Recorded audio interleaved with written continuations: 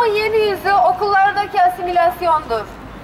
Bu ülkenin farklı kimliklerine devletin uyguladığı katliam, sürgün ve asimilasyon politikaları yıllardır sistematik olarak devam etmektedir. Malatya katliamı da bunlardan biridir. Malatya'da 17 Nisan 1978 akşamı başlayıp 20 Nisan'a kadar devam eden saldırı, tahrip ve silahlı çatışma 8 kişinin ölümüne, 20'si ağır 100 kişinin yaralanmasına, 960 kişinin e, iş yerinin tahrip edilmesine neden olmuştur. Olaylar sırasında onlarca oto, otomobil de zarar görmüştür. O tarihten sonra 300 Alevi esnaf ve 40 bin Alevi şehri ter terk ederek büyük kentlere geçmiştir. Sivil faşistleri örgütleyerek Alevi-Sünni çatışması yaratan bu zihniyeti kınıyor, katledilen canları saygıyla anıyoruz.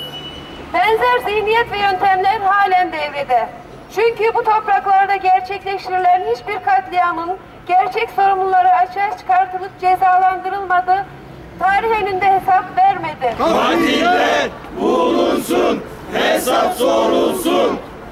Katiller bulunsun, hesap sorulsun. de uzun yıllardır devlet ve hükümetler tarafından izlenen Türk İslam sentezine dayalı tek din, tek mezhep, tek dil anlayışı çerçevesinde hayata geçirilen politikalar çocuklarımızı, gençlerimizi ve bütün toplumu inanç ve kimlik üzerinden tek tipleştirmeyi ve kutuplaştırmayı hedeflemiştir.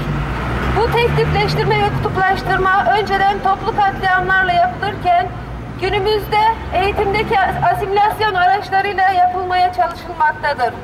Bu aracın adı zorunlu din dersidir. Türkiye'de yıllardır din, mezhep ve kimlik farklılıkları üzerinden farklı kimliklerden halkların, farklı inançtan ve mezhepten insanlar birbirine karşı kışkırtılmış, farklı inanç ve kimliklerin diğerleriyle eşit haklar temelinde ilişki kurması bizzat iktidarlar aracılığıyla engellenmiştir. Din dersi istemiyoruz.